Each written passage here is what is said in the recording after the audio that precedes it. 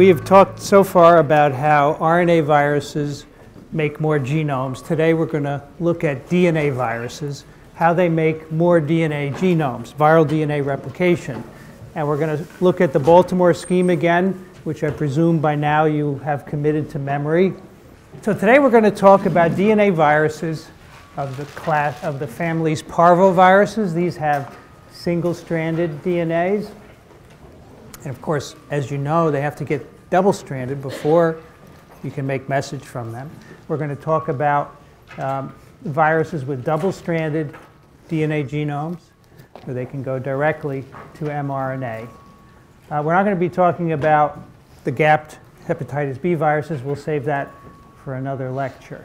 So among these double-stranded DNA viruses are the adeno and herpes viruses, the polyoma viruses, uh, and the related papillomas, and then a little bit about pox viruses. Now, retroviruses also produce a double-stranded DNA, which integrates into our chromosomal DNA, and that gets replicated as chromosomes replicate.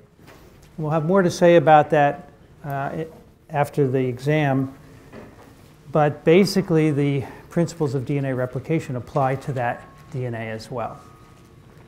Now, a few basic fundamentals about DNA replication, just as we did for RNA. A lot of these are very similar.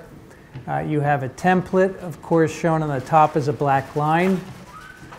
It is read in a 3 to 5 prime direction by the polymerase, and the, the product is synthesized in a 5 to 3 prime directed. So the DNA is made by template directed incorporation. That means you need a template.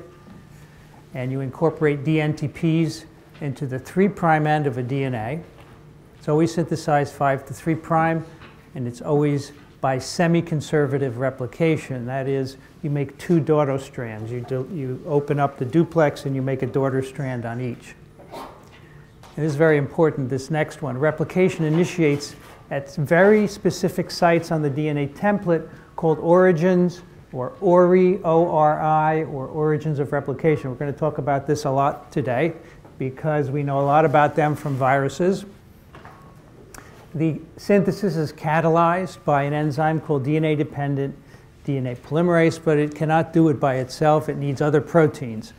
It needs a lot of proteins, as you will see today. And DNA synthesis is always primer dependent. So it's different from RNA synthesis, which can be primer dependent, or sometimes it doesn't need a primer. DNA synthesis always requires a primer. The way the nucleoside triphosphate is incorporated is very much like we talked about for RNA. It, it, it goes by a two-metal mechanism of catalysis. And here again, is we showed you this uh, for the RNA talk, but I'll show you again to remind you. Here's the template DNA, and NTPs, DNTPs are added based on the nature of the base in the template. And here we're adding a T to, base pair with this A. And these, these come in, of course, as triphosphates. You have a sugar, you have a base, and then you have one, two, three phosphates. So this would be TTP, for example. And then two magnesiums are coordinated by two aspartate residues in the polymerase, and the magnesium assist in the transesterification reactions that occur to get rid of the two phosphates and join this phosphate to the oxygen in the previous base. And this, these conserved magnesiums, if you remember for RNA polymerase on the lower left, this is a three-dimensional structure of the poliovirus RNA polymerase. Uh, the two metal coordinating aspartates are shown as these yellow stick figures on this yellow colored beta strand. This is the catalytic center of the enzyme. Uh, and this is where new bases are added to the growing strand. Now on top of this is a three-dimensional structure of a DNA polymerase.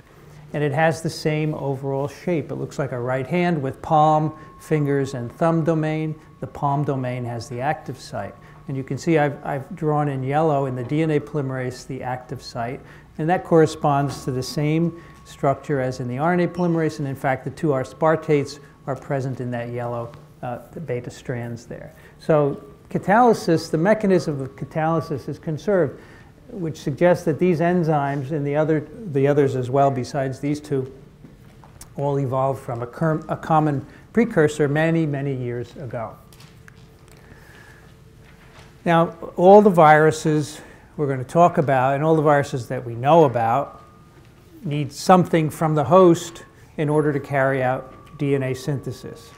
None of them can do it entirely on their own. And the degree to which they are independent of the host with respect to DNA synthesis depends on the size of the viral genome. When viral genomes come into the cell, in order to replicate, they all have to make at least one protein. And that goes uh, without saying. And this is why DNA synthesis is delayed. If you remember when we talked about transcriptional cascades, the purpose of those cascades is to delay proteins until structural proteins until you get DNA synthesis going. And so you can't just start making DNA immediately. You have to make at least one viral protein, sometimes more, depending again on the virus. So simple viruses with small genomes require many host proteins in order to replicate DNA because their genome is too small to encode a polymerase and other accessory proteins. They do have to encode at least one protein, though, to orchestrate the host, if you will. They have to control things. And what we mean by that will become very obvious uh, in a few moments. Bigger viruses, the adeno, herpes, and pox viruses, which are shown here, have, encode more proteins involved in DNA replication. They encode the polymerase and ancillary proteins, but no virus encodes everything. For pox viruses, for example, have a, encode a lot of proteins that participate in DNA replication, but they can't make all the triphosphates. So the ATP, uh, TTP, CTP, and GTP that are needed are mainly made by host enzymes for most viruses. Uh, pox viruses can make a few of those, but not all of them. So every DNA virus is dependent on the host for some aspect of DNA synthesis. Now, this may change in the future as we discover these giant viruses. Who knows? Maybe some of them can encode the total DNA replication system. But as far as we know, not every protein that you need for replication is encoded in the genome. So by that, I mean not just the polymerase, but proteins that act with the polymerase, as you'll see as DNA is replicated, and all the enzymes you need to make the triphosphate precursors. All those are needed for DNA synthesis. So where does the polymerase come from? Well, the small DNA viruses, as I said, their genome is too small to encode a DNA polymerase, so they don't do that. And these are papillomaviruses. Uh, these are viruses that we'll be talking about more these cause warts, and they can also cause anogenital cancers. Polyomaviruses like SV40 and parvoviruses, these are the small DNA viruses. They don't encode a polymerase, but they do encode a protein that orchestrates the host, at least one. The large DNA viruses, as I've said, encode a lot of the replication system. In, in the case of pox virus, they encode most of it, but again, not all. Pox viruses don't encode the whole thing. They can't replicate DNA without the help of the cell. Herpes viruses, adenovirus, and pox viruses are among these bigger uh, viruses. They, they do encode a DNA polymerase, but they do not encode everything that you need. So what kinds of viral proteins are encoded that help or participate in, in DNA synthesis? Of course, the polymerase itself by some viruses, accessory proteins, uh, like helicases and processivity factors. We'll look at these in a moment. Origin binding proteins. These are proteins that bind the origin of replication and favor viral DNA replication. Exonucleases, and as I've mentioned, enzyme of nucleic acid metabolism. And these are the enzymes that make the triphosphates. As you may remember from biochem, or maybe you don't want to remember because you hated it, there are very specific pathways for the synthesis of these nucleotides, nucleoside triphosphates. And some viruses encode some of the enzymes like thymidine kinase and ribonucleotide reductase. But as, as I said, even pox viruses, which encode more DNA synthesizing enzymes and any virus we know about, don't encode them all. Which statement about viral DNA synthesis is not correct? One, Large DNA viruses encode many proteins involved in DNA synthesis. Two small DNA viruses encode at least one protein involved in DNA synthesis. Three, viral DNA replication is always delayed after infection because it requires the synthesis of at least one viral protein. And four, some viruses encode all proteins needed for DNA replication.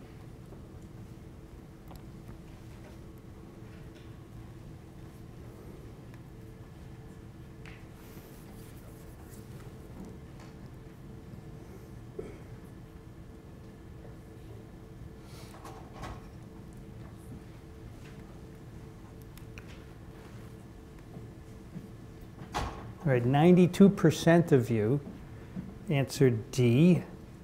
Some viruses encode all proteins needed for DNA replication. But some of you uh, picked the others. Large DNA viruses encode many proteins involved in DNA. That, that's correct, so you wouldn't want to get it wrong. Small viruses encode at least one protein. That's correct. And DNA replication is always delayed. That's also correct because you have to make at least one viral protein either the one that orchestrates the host or the polymerase itself or, or something else. The, viruses that we're going to talk about that ha have to replicate their genomes, they have diverse genome structures. So one of the things we have to deal with is how this is accomplished. We're going to talk about parvoviruses where the genome is single-stranded and it has these funny hairpins at either end. We'll talk about that. We'll talk about viruses with circular double-stranded DNA molecules and, and viruses with linear double-stranded molecules like adenovirus, herpes simplex, and then the pox viruses, which are also linear double-stranded, except their ends are covalently linked. Uh, the 5 and 3 prime ends are covalently joined. So how does the DNA replication system deal with all of this? Let's, that's one of the themes we'll look at. Now, in general, among the viruses that we talk about, and they're all listed here, there are two kinds of replication schemes for the DNA. On the left, is one that employs what we call a replication fork. And you've probably learned about this if you took biology or biochemistry, because this is what they teach you when they teach you how cells replicate their DNA. You have, of course, a double-stranded DNA here, uh, and on one strand, the strand is read 3' to 5', and you lay down an RNA primer, and then you continuously produce the complementary strand the synthesis occurs in a 5 to 3 prime direction. So as this fork separates, that strand can keep going. That's continuous synthesis on that strand.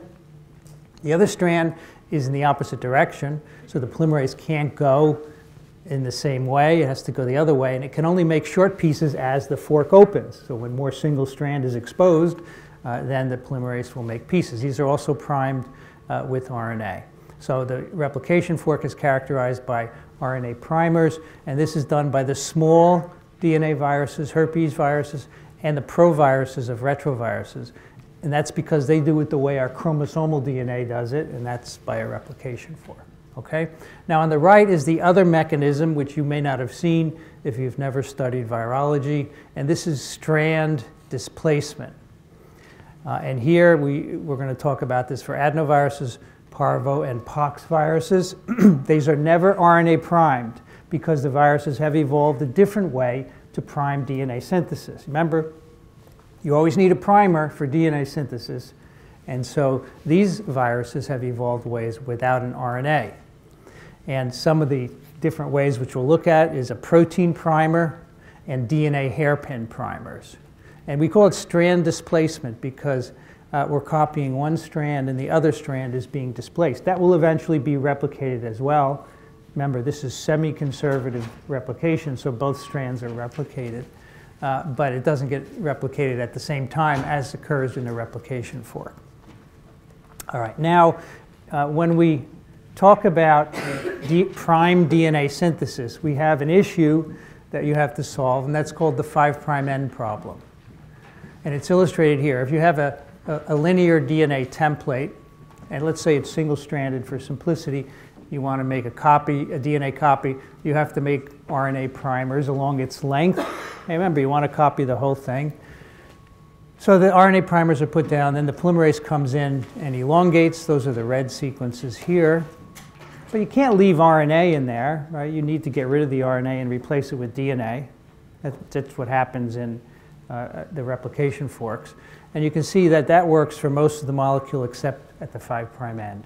You have a piece missing because you took out the primer, but the polymerase needs an RNA primer to fill that in, so you can't fill it in.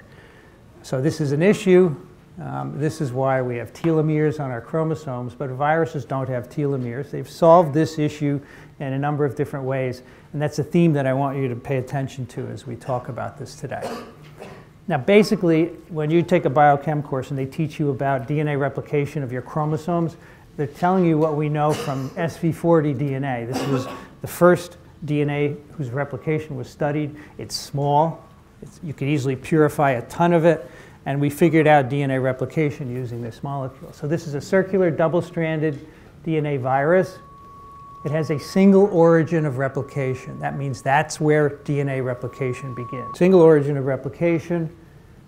And we can look at this molecule replicating in vitro and see how that origin works. We know, for example, that DNA polymerase begins at the origin and then it proceeds bidirectionally. So you have two polymerases operating on the same molecule, one over here on the right, one over here on the left. Okay, so we have rep two replication forks. So that should tell you right away that this is going to be primed by RNA. They move apart from each other. And we can see that in an electron microscope because you can cut this DNA with a restriction enzyme. You can cut it once and linearize it. So here's a linear SV40 molecule. And you can see the origin of replication right there. There's a little bubble because replication has just begun. And in the progressive images, it's getting bigger and bigger and bigger and bigger. And by measuring how far the ends are, you can tell that the DNA polymerases are moving in both directions. It's, it's bidirectional replication. All right, so this shows you what an origin of replication is, the place where DNA replication begins. So here's a schematic of the SV40 origin. Here's the origin, and we've already replicated uh, a bit, so now we have two forks, bless you, moving in each direction. And again, because this is um, a replication fork, we're going to have a leading and a lagging strand. The leading strand is easy. The polymerase can keep chugging along and synthesize in a 5 to 3 prime direction. Using RNA primers, those are shown in green. And as the bubble gets bigger or the fork opens up, the, the DNA is melted, this can simply keep synthesizing. And on the other strand, the same thing, there's a leading strand as well. But of course, on the, on, on, in this direction, the polymerase can't, on this top strand, can't go in that direction. It has to go backwards. And it can only make short pieces because the, the fork is limiting it. So you have lagging strands on, on both sides as well. And those are all primed by uh, RNA primers. The fact that this molecule is circular gets rid of the end problem. It's easy, there are no ends. the molecule, when you, when you reach uh, the other side of the circle, the RNA is excised and the polymerase uses the 3' end of the new strand to simply fill it in. It uses that as a primer. So again, it, the, the 5' end issue is, is shown again here. I showed you this before. What happens at the end of the molecules, since there's no end on the SV40 DNA, the last bit of DNA simply fill, is used to fill in where the last RNA was. Beautiful uh, solution. Circular DNA does it. Now, we don't have circular DNAs, so we have other solutions to this end problem. Now, in the version of the slides I gave you, this 3' prime was, was in the wrong place. It was at the 5' prime end of this new strand, which is incorrect. The artist uh, did it incorrectly. So I've placed it correctly right here. This 3' indicates the 3' end of each of the RNA, uh, each of the newly synthesized uh, DNAs. How does this work? So it begins at the origin of replication. The viral DNA comes into a cell, has to get in the nucleus, because that's where DNA replication occurs. All the viruses we're going to talk about, with one exception, pox virus, the DNA replication happens in the nucleus. Okay, so SV40 goes in the nucleus, has to make a protein. So that DNA is transcribed. We talked about transcription last time. The mRNAs go out into the cytoplasm, and a single protein is made, T antigen, which is an origin binding protein that's going to co opt the DNA synthesis system of the cell so it copies the viral DNA. So here's large T, this uh, orange uh, rectangular protein here. It, it, forms hexamers, and two hexamers bind at either side of the origin of replication. and it basically denatures the origin as shown here, and it attracts other cellular proteins in that start replication, including a topoisomerase to help unwind, and as you'll see later, uh, here, here's a single-stranded DNA binding protein that will bind the single strands to make sure they stay apart so the polymerase can go in and copy. Basically, large T gets everything going. Okay, large T is essential for attracting the cellular polymerase apparatus to the origin. Otherwise, the virus would have a hard time getting its DNA replicated. It would have to wait for polymerases to bump into the origin, which is a low frequency event. So having an origin binding protein like large T is the key, and that's why it's made first. Now this origin binding protein uh, opens up the replication forks the, at the origin. Other proteins come in. For example, you don't need to know these, but I just want you to know uh, what they are. The, there's a DNA polymerase called polymerase alpha that synthesizes the primers, the RNA primers that are going to be used. Those are shown in green. Uh, and then there are a variety of other proteins that form uh, a clamp on the DNA. So the replication occurs through the action of a clamp, and those come in as well. And then there are two different DNA polymerases that extend uh, the molecule, polymerase epsilon and delta, which is in another slide. So there are a variety of polymerases and cell proteins, and these are all brought here because large T first bound the origin, and then all the other proteins are brought there as well. So eventually you get a, a larger uh, bubble. You have, again, you have leading strand synthesis and lagging strand synthesis in the opposite direction. All this occurs on the same molecule, uh, and this gets larger and larger. So here you see it's getting, getting larger and larger. Here's a leading strand, and some and a leading strand on here, and then uh, lagging strands. Here's one lagging strand on the top right here. So there are multiple polymerases uh, that are binding this uh, bubble. And then eventually the RNA primers are removed by an RNase, uh, and then molecules are filled in and then ligated, then you have a completely replicated DNA. So again, this is all catalyzed by large T antigen coming in and saying, this is an origin, I'm binding to it, and then all these other DNA replication proteins come and recognize it and start replicating these genomes. So this is what the replicating fork looks like. It's a really amazing machine. There are actually movies of this you can find uh, if you just search for DNA replication. Uh, and here is large, here's one, one end of the fork, if you will. We have large T, which is going to keep unwinding. It moves along and unwinds the double strand. Here's leading strand synthesis.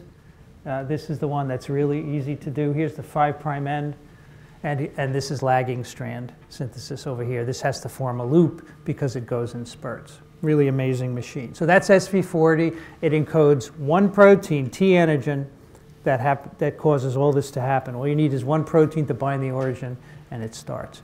Now, as you're replicating these double-stranded molecules, so being double-stranded solves the end problem right, taking away that primer. But it introduces other problems, and one of them is that as you are making a replication bubble, you have bidirectional replication, this molecule gets twisted. So in order to unwind the double strand, in order to copy it, the rest of the molecule gets tied up in knots, and eventually that has to be released, and it's released by topoisomerases.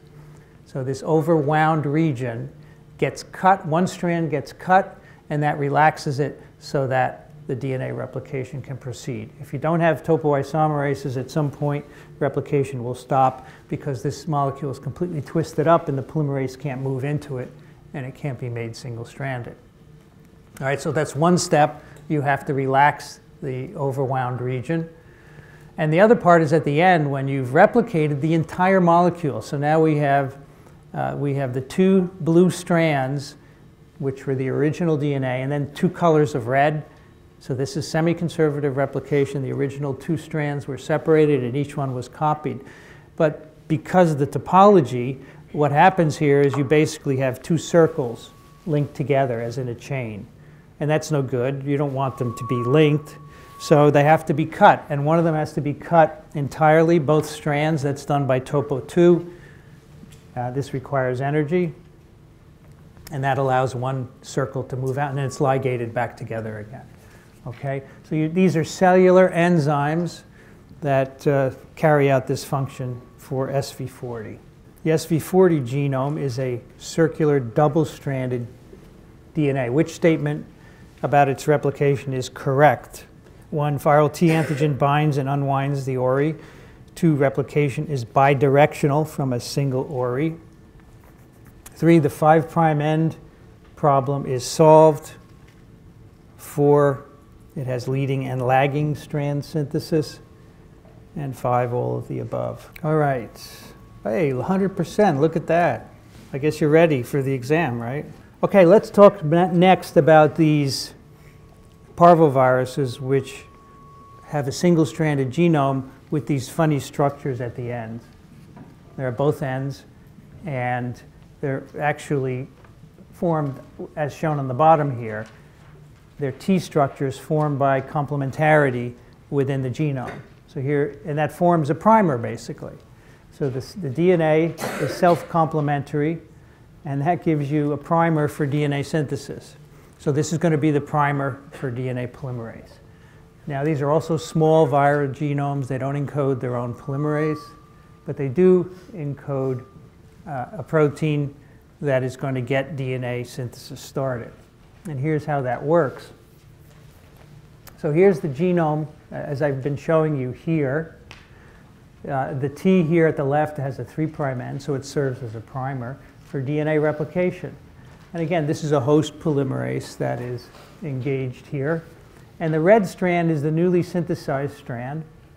So now we have a double-stranded product. We have to elongate this, this T part here, otherwise we're going to lose it. And so there, a sequence-specific nick occurs in this left-handed region.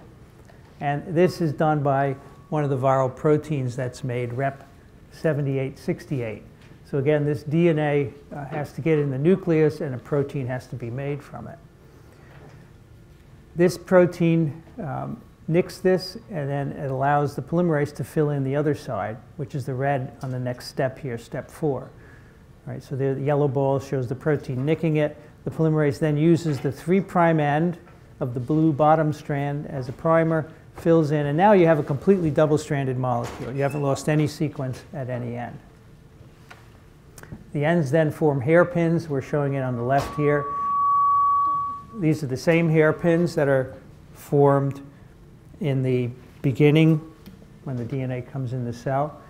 All right, so that double-stranded molecule forms a hairpin, and now we can use the 3' end of that new red hairpin to start initiating another round of DNA synthesis. So that's shown in light red uh, that, that strand displacement.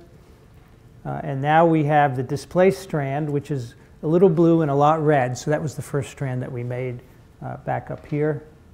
Uh, and then we have a newly synthesized light red strand, which is a duplex molecule. And that just cycles back up here, gets nicked, uh, and um, goes through the whole process. Now, before DNA replication can happen, you have to have a protein made from this genome you have to have the rep 7868 protein.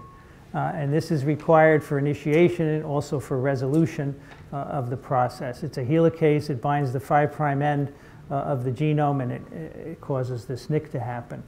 So how does this happen if, how can we make this protein if we don't have double-stranded DNA? Well, the idea is that uh, this DNA is, is probably made double-stranded by DNA repair enzymes in the cell and those of course include polymerases, then that can be transcribed, make an mRNA. So before DNA replication occurs, uh, you can make a message to synthesize this protein. So it's not considered DNA replication that makes it initially double-stranded, it's considered DNA repair.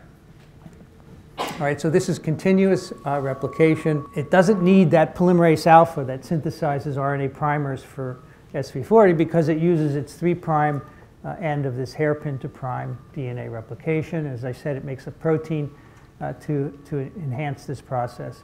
And it's, it's all by strand displacement, which I think you can see is illustrated quite clearly here. There's no replication fork, there are no RNA primers, strand displacement. Okay, now let's move on to double-stranded DNA viruses. And the first one we'll talk about is adenovirus, double-stranded DNA, about 36,000 bases of double-stranded DNA. And these are the interesting virus particles with the Sputnik-like appearance. There is an origin of replication at both ends. By the way, I forgot to tell you where the uh, origin of replication of parvovirus is, but of course it's right there at that 3' end. That's where DNA synthesis begins. The origin of replication of adenovirus is at either end. The replication is by strand displacement, so no RNA primers. And of course, it's semi-conservative like uh, all the other mechanisms we're talking about. So let's see how this works. Primer for adenovirus DNA replication is a protein-linked primer made by the viral polymerase. So the virus encodes a DNA polymerase, and that's shown in the purple sphere here. Uh, it is initially linked to a protein called PTP, which means pre-terminal protein, and that's the protein that's going to be used as a primer. The polymerase adds a C residue, a single C to the pre-TP, and this is the primer for DNA replication. This protein linked to a single C molecule. And that starts at the 3' prime end of the genome, which is shown in the overview here and on the left in some detail. So the C hybridizes with the first G primer, and then the polymerase begins to make the first complementary strand. That's shown here in step two in red by strand displacement. Right?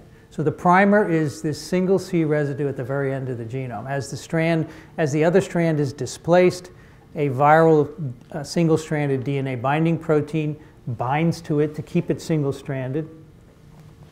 And then eventually the whole genome is copied. And what you have then is a, uh, a new double-stranded DNA with a, a red product. That's the product of this synthesis. And that can enter the same cycle can then go up here and be primed again at the 3' end and make more DNA. But of course, you have to replicate the other strand as well because this is semi-conservative replication. So that displaced strand, which is now all bound up by DNA binding protein, is shown here in step four. The genome at its ends has inverted terminal repeats. So what that means is any strand, any single strand of the genome will form a structure such as this. It forms a duplex uh, structure at the end. Even though there's a circular DNA here, it forms a duplex structure. And the polymerase will recognize that as a place to begin initiation. Wouldn't recognize a single strand, but it recognizes a duplex as it does on the viral DNA. It will do it down here as well. So the polymerase will recognize this 3' end and begin copying it as well. And you then makes a duplex from the other strand. So this way both strands are copied, semi-conservative replication.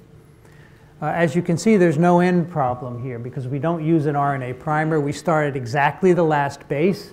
Apparently having a protein linked to one base is enough to get priming.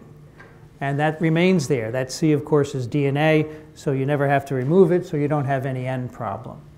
So for parvovirus previously, the end problem was solved by having the virus prime itself, have that terminal hairpin serve as a primer, here the end problem is solved by having a protein-linked primer initiate at the very last base of the genome, DNA synthesis. And again, it's not an RNA primer, so there's no end problem.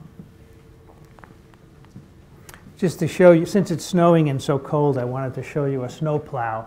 And that's what this um, adenoviral single-stranded DNA binding protein looks like. So as the polymerase is, is uh, moving along here, copying the viral DNA. It's displacing the top strand, right? So here's the bottom strand. It's making a red copy of the bottom strand. It's displacing the top strand. The single-stranded binding protein comes in and binds it to keep it single-stranded. And also its shape is plow-shaped, and that helps to denature the duplex uh, as the polymerase is moving down here as well. So this is a viral DNA polymerase. Um, the, the, DNA binding protein is viral. All these things have to be synthesized. The priming protein has to be synthesized. That's why there's a cascade regulation in adenovirus replication because you want to make those proteins first uh, before you can get DNA replication.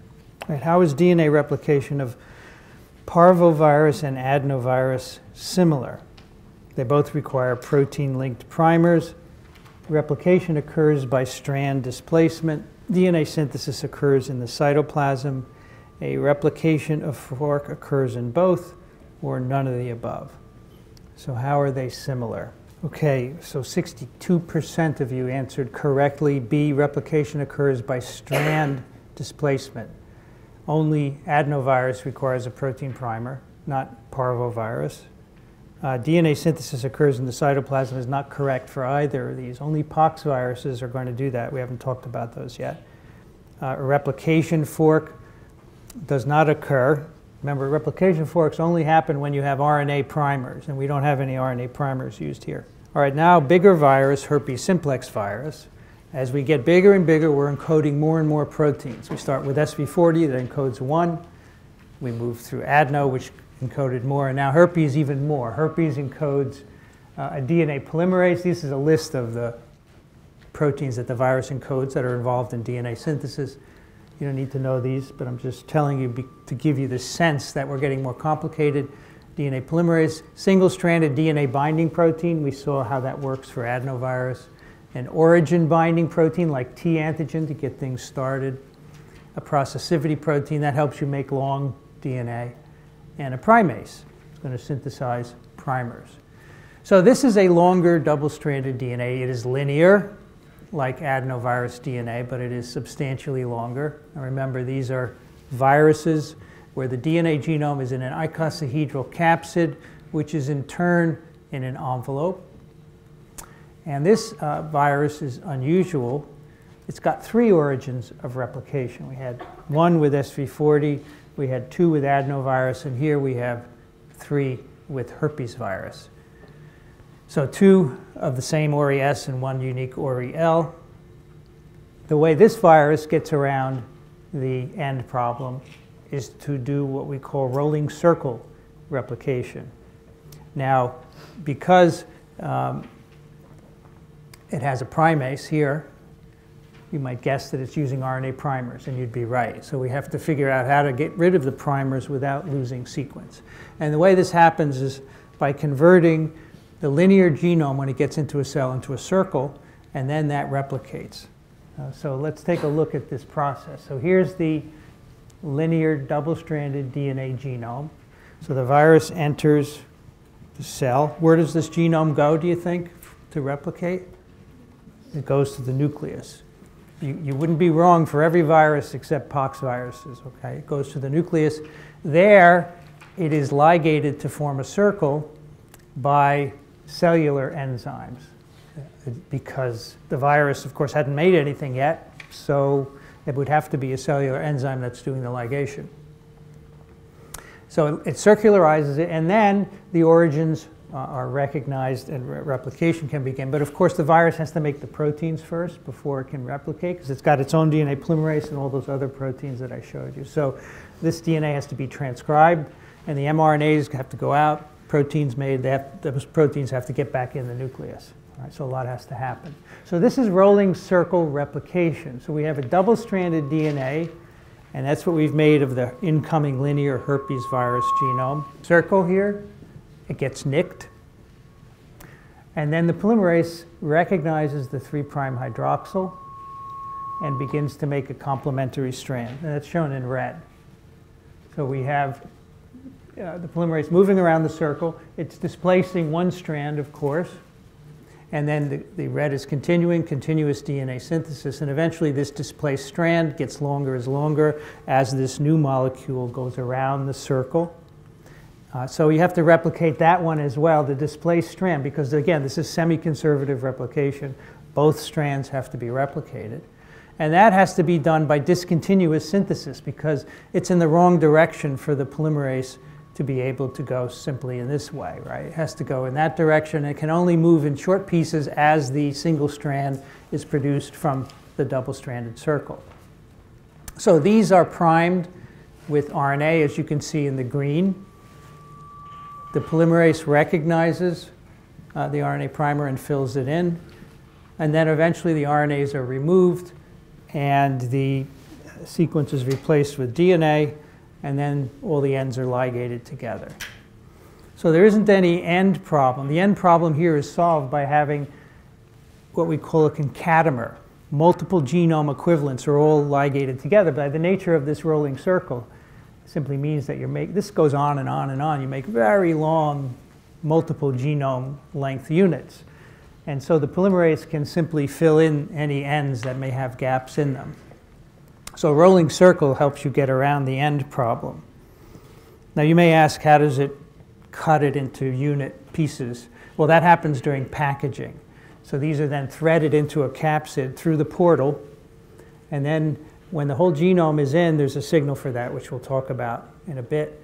And the genome is cleaved at the right place. So you only have the right amount going into the capsid. So the solution to the end problem here is to have these very long concatenamers uh, and allow the polymerase to fill in the RNA. Okay, so those are some really neat solutions to end problems. Here's poxvirus, which is the biggest virus that we talk about in any detail. Uh, these have very large genomes, which again have terminal loops. They are ligated. The 5 and 3 prime ends are covalently attached. And so that presents an interesting problem for replication as well. We've dealt with double-stranded DNAs in two ways, with adenovirus, with end priming, with a protein, herpes by circularization.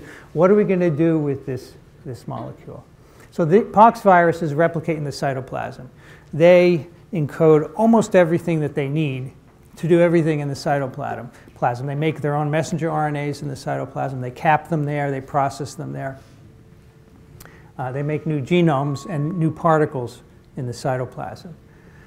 But they do encode a lot of proteins required for DNA synthesis, but not everything. And in the version of the slide I gave you, statement DNA synthesis is independent of cell proteins. And I'm taking that out because that simply isn't true. Because as, as I told you earlier, no virus encodes everything it needs.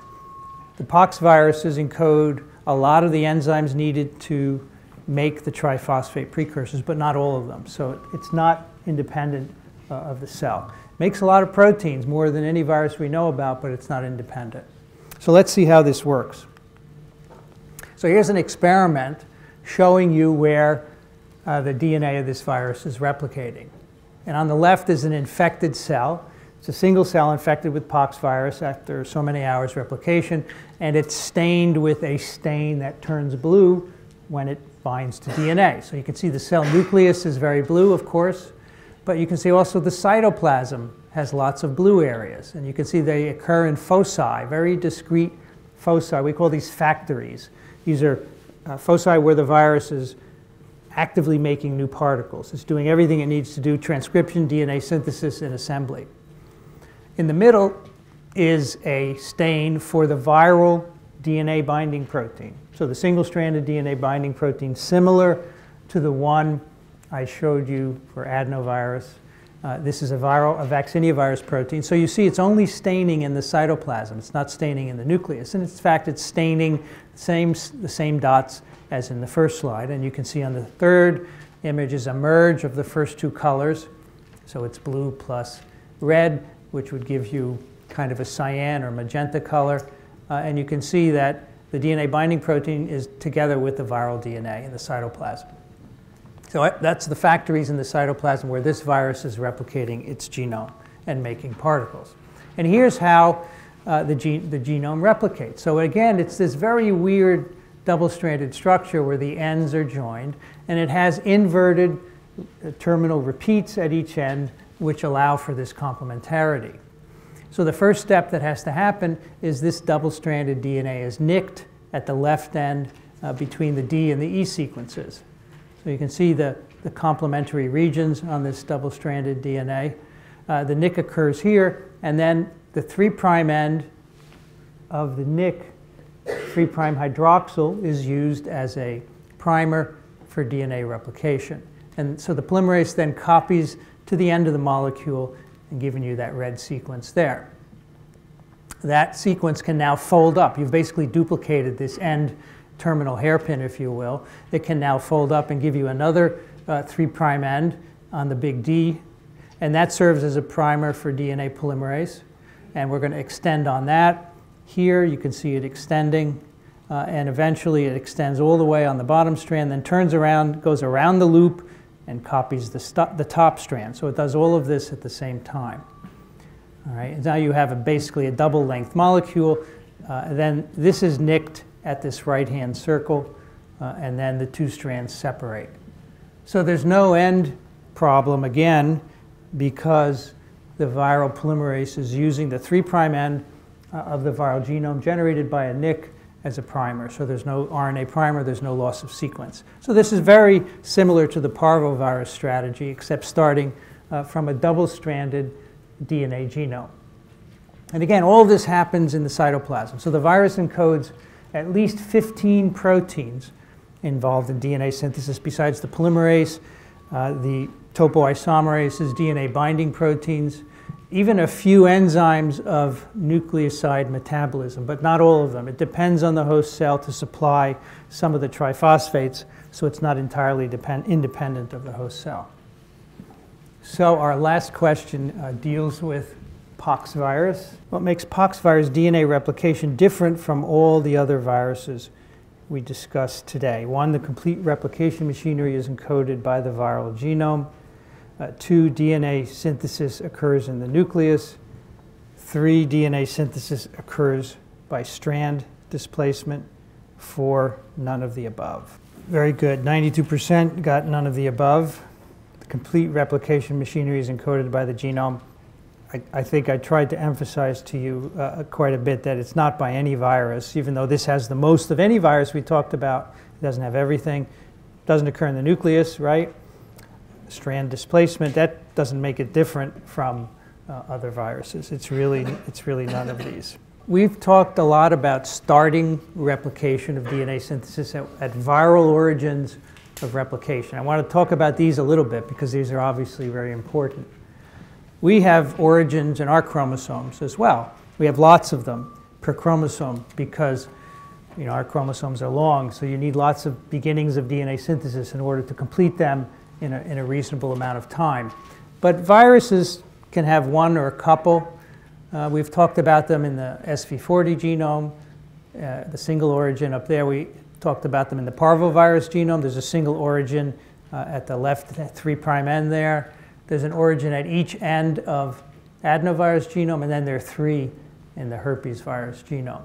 All this means is this is where DNA synthesis initiates and we call it an origin of replication. These tend to be, and I want to look, look a little bit about the sequence uh, of an origin and what it does. They tend to be AT-rich segments, and as you remember from what we've talked about just today, they're recognized by viral origin recognition proteins, and the function of that is to get the DNA machinery, whether it be viral or host, attracted to that sequence to get DNA replication started. So they seed assembly of multi-protein complexes, and viral genomes can have different numbers of origins.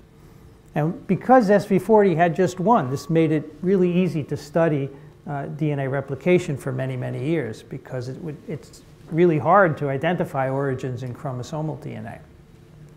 So here are schematics of three uh, origins, uh, SV40 uh, on the top, herpes simplex virus uh, in the middle, and adenovirus at the bottom.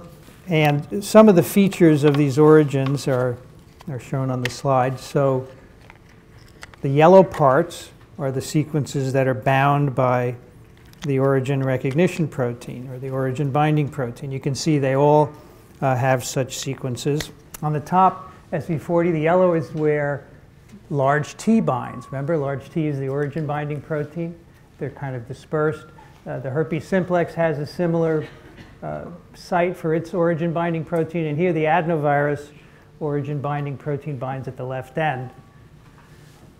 They also have AT-rich sequences so that you can melt them more easily, right? AT-rich AT sequences form less strong double bonds than GC. So remember, the origin binding protein is going to get in there and melt it so the polymerase can come in and start copying. So you put AT-rich sequences near them. And then they also tend to have nearby binding sites for transcriptional regulators and promoters in some cases. So you can see uh, on the top here, there are some binding sites for transcription protein SP1. And not too far away is the transcriptional uh, promoters on either side of this SV40 origin. Here are some viral promoters on either side of the herpes virus origin. And here are some binding sites for uh, different transcriptional regulators here as well. So I think in terms of genetic economy, these sequences tend to cluster the transcriptional regulatory sites and the, uh, the sites for binding of origin binding proteins. So these proteins we've talked about, I just want to review some of the properties. We talked about uh, polyoma T, this is SV40 T antigen, it binds specifically to DNA. The papilloma viruses, which we'll talk about in a moment, they have a similar protein called E1, but by itself, it doesn't bind to DNA, it needs another viral protein. So here's an example of a simple virus that makes two origin binding proteins. We talked about the parvovirus, REP6878 protein that unwinds, uh, that binds to the end and unwinds the DNA, also involved in nicking. The origin binding protein for adenovirus is the pre-terminal protein, together with the polymerase that binds the ends of the DNA. And then there's a, there's a herpes viral protein as well uh, that binds. Now, the point here is to tell you that this is an incredibly important process to bind these origins and get replication started. And the viruses are all using these uh, recognition, these ORI recognition proteins. And let's look at one of them in a little bit of detail, just to show you how complicated these proteins are. This is large T protein of SV40. You'll also see it referred to as large T antigen because when it was first discovered, it was by virtue of antibodies recognizing it in infected cells. We didn't know what it was doing, so it was simply called T antigen, and the name has stuck. So here's the linear sequence of large T antigen. You can see it's about 700 amino acids long, and it has domains for all sorts of things. For example, here's part of the protein that binds uh, the origin right here. This part of the protein in, in the light color uh, binds polymerase alpha. That's the polymerase that makes the, the RNA primers. Uh, part of the protein is an ATPase. This protein can unwind DNA. That's an energy dependent process. You need to hydrolyze ATP. Um, and it can also bind a protein called retinoblastoma protein. And we'll talk about that, significance of that in a moment. Here's a nuclear localization signal, which is important because this protein has to get in the nucleus to bind SV40 DNA. Because remember, it's made in the cytoplasm, as all proteins are, but its job is in the nucleus, so it needs to have a nuclear localization signal. Now, T antigen is important for regulating the kind of animal that is infected by the virus. So SV40 won't infect every animal. It has a very restricted species tropism. And the tropism is controlled uh, by T antigen because in the wrong species, so the species for SV40 is the monkey, in the wrong species, like a mouse, for example, it will, the T antigen will not interact with the polymerase alpha which is essential for making the RNA primers. So that simple fact, the sequence here is not the right sequence to bind, say, a mouse polymerase alpha, restricts the tropism of this virus. This protein also binds what we call cell cycle regulators. So the retinoblastoma protein, RB, is a cell cycle regulator, and T antigen binds to it. That binding causes the cell to go into S phase. And this is very important because the virus uh, requires an actively replicating cell in order to access its DNA replication machinery. And to do that, it utilizes T antigen. And we're going to talk about that now. So most of your cells are not really dividing. Uh, or if they do divide, they, they divide rarely. And of course, we have one extreme, neurons, which don't ever divide.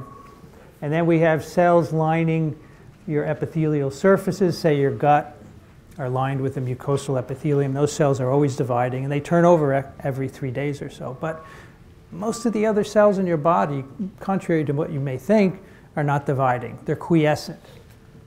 Viruses don't like quiescent cells because a quiescent cell, a non-dividing cell, is not undergoing DNA replication. So if SV40 requires host cell DNA polymerase and all the ancillary proteins. They're not going to be available in a quiescent cell. So what has happened, and we have learned this over the years, is that viruses have to induce the cells to divide. They have to get them out of quiescence. They have to wake them up. And this is done, as you might guess, by either an immediate early or a very early gene product. Because remember, these have to, this has to happen in order for DNA replication to occur. So SV40T antigen is an example of that. There are also uh, proteins in adenoviruses and papillomaviruses that kick the cells into dividing. Because viruses will not replicate in quiescent cells. Now, let me show you uh, a, little bit about how this happens. Here's our cell cycle, which all of you should know, right? Here's on top is mitosis, which happens in a very small part of the cell cycle. The cell cycle, which is roughly, say, 24 hours, depending on the cell type. Let's say the cells have just divided. They then have to grow, get bigger. Otherwise, if they don't grow, they're going to just get smaller and smaller when they divide, right? So they grow in a phase called G1. Then they make new DNA. They replicate their DNA using some of the mechanisms we talked about here, uh, and then they divide. In the cell cycle, there are a couple of what we call restriction or checkpoints. And we're going to talk about those later on when we talk about transformation and oncogenesis. But here, we're going to look at one in the G1 phase, which is mediated by the RB protein. And this is here to keep cells from dividing because they don't need to divide. Until the conditions are right, the cells don't need to divide. And RB is the gatekeeper of the cell cycle. So this is encoded by a, a gene called retinoblastoma or RB because it was first identified in kids with tumors of the retina, pretty rare tumor, but this gene was mutated in those tumors. And as I've said, this protein controls entry into the S phase. So this protein is standing here and keeping the cells in G1, preventing them from making DNA. It is a tumor suppressor gene because if you lose it by mutation, you get a tumor. Uh, and we'll talk later about why that is. But this is a target of many viruses who need to kick the cell into mitosis. They inactivate the RB protein and make the cells go through this G1 and into S. They want cells to be in S. They want cells to be making DNA, right? Because they want, for SV40, they want the polymerase, the primase, all those other proteins. They want them, and they, they're only going to be made during DNA synthesis. So a resting cell is not going to make all of these proteins that are needed for DNA synthesis. That would be a waste. So all these proteins that are needed for cell division are controlled by promoters because they're encoded in DNA and you have to make messenger RNAs encoding polymerase and primase, and topoisomerase, et cetera. And those promoters are controlled by two transcription factors called E2F and DP. So these transcription factors bind uh, in the promoter region. You get transcription of genes involved in DNA synthesis. Cells make DNA and then they divide.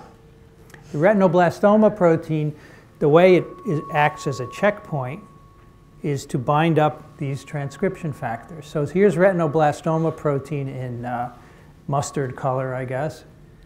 And it is bound to uh, these E2F and DP, and that prevents them from activating the genes needed for DNA synthesis. Now, in the cell, we have mechanisms for releasing the RB checkpoint because we don't want our cells to be quiescent all the time, right? There may be conditions where a certain tissue needs to multiply. If you're doing a lot of exercise and your muscles need to get bigger, your muscle cells have to divide. So you're, you're eating a lot of protein, and that signals uh, a number of protein kinases to phosphorylate RB, and that, that pops it off of the transcription proteins and then they can activate DNA synthesis. So phosphorylated RB doesn't bind the transcription proteins that are needed for DNA replication. So this is a normal cell control. And if you have a deletion in the RB, you develop a tumor because your retinal cells keep dividing, they don't stop, and that's the beginning of a tumor. So viruses like SV40, uh, the papillomaviruses, and adenoviruses, they make a very early protein, the T antigen in the terms in the case of SV40. Uh, for adenovirus, it's called E1A. This is an early uh, protein, and the human papillomavirus is early proteins as well. These early proteins bind RB. So these viral proteins are schematized here in purple. They bind RB. They prevent RB from inactivating these cellular transcription factors. And that's how they kick the cells into mitosis. This is brilliant. This is an amazing strategy. T antigen, SV40 comes into a cell, its DNA goes in the nucleus, it makes T antigen. If the cell is quiescent, the T antigen is going to bind retinoblastoma protein, the cell is going to start dividing, and it makes all the DNA synthesis proteins, and the virus uses them. You can't love that. It's just amazing, right? It's just gorgeous. And this is why, as you will see, this is one of the reasons why SV40 causes tumors, because it makes cells divide. And adenovirus and the human papillomaviruses cause tumors because they have these proteins that make cells divide uncontrollably. And we'll talk more about that later. So that's the strategy. The viruses get into a quiescent cell, they make an early protein like T antigen that inactivates RB and makes the cells divide so that they can replicate their genome. And this happens pretty much for a lot of these uh, small DNA viruses, even the bigger ones, if they need the nucleus. Pox viruses don't care about this because they make their own uh, DNA synthesis proteins in the cytoplasm. And I want to end up with one example of when this isn't always true, that the virus has to kick uh, the cells into mitosis in order to make more DNA. And that's human papillomaviruses, which cause uh, warts. There are many, many different types of human papillomaviruses. They can cause warts all over your body. And the ones that cause anogenital warts can lead to anogenital cancers. Uh, and so they infect, uh, the, they can infect the skin or mucosal layers. And the skin, of course, is composed of many, many layers of cells of different type uh, and the basal lamina underneath it. And here's a human papillomavirus DNA genome. It's very much like SV40, circular double-stranded DNA. These viruses initially infect the cells at the very bottom, the precursor skin cells. They get in by a, by a scratch or an abrasion of some kind and go into the very basal cells. The DNA gets in and it goes to the nucleus. And if these cells are quiescent, which they can be, the virus makes a protein that inactivates RB, and gets the cells dividing so that it can make a lot of genomes, as you can see here. And then the virus, you know, these cells move upward. So they start at this, in, these, in these precursor layers. They move up, they differentiate until they're the most differentiated at the top, and then eventually your skin dies and it flakes off, right? And those are the top layers of cells. And this happens continuously. The most differentiated cells at the top don't divide anymore. So your outermost layer, just beneath the dead layer, is no longer dividing. Yet, papillomaviruses they move into, uh, into, up through this differentiation scheme. They end up in these highly differentiated cells at the surface, and there they replicate like crazy, even though those cells are quiescent. Now you're probably thinking, you just told me that the virus needs to make a cell divide in order to replicate. But here I'm telling you that in these non-replicating cells, you make thousands of copies of the viral DNA uh, in the nucleus. The key is that apparently this virus has evolved to use the DNA damage response of the cell to make more DNA. All right, so DNA damage response of a cell, a series of proteins that we have in us that detect mutations, double strand breaks, mismatches uh, in, in double stranded DNA and so forth. They detect the presence of papillomavirus and they respond by upregulating DNA synthesis enzymes and that ends up replicating the genome. So there are always situations that are exceptions to these kinds of paradigms that I tell you. So uh, papillomaviruses have evolved to do this, and they have to because what, what happens is these cells eventually die and flake off, and that's one way that these viruses are spread from one host to another when the, the outer layer flakes off and you, you encounter it in a room and, and you get infected again. And they do so again by not kicking the cells uh, into mitosis here, but by taking advantage of uh, DNA checkpoint, DNA repair. Now, these papillomaviruses, if you remember from the transcription lecture, these papillomaviruses make alternatively spliced mRNAs.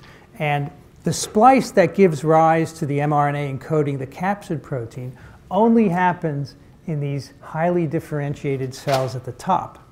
It's not found down here because apparently as these cells differentiate, uh, they make proteins that allow that alternative splice to occur. And that makes perfect sense because you don't want to be assembling viruses until you get to the very top of the skin and you have an opportunity to spread to another host. So the virus has evolved to be able to multiply its DNA extensively in non-dividing cells and it can make the capsid protein to encapsulate the DNA uh, in these top cells by alternative splicing.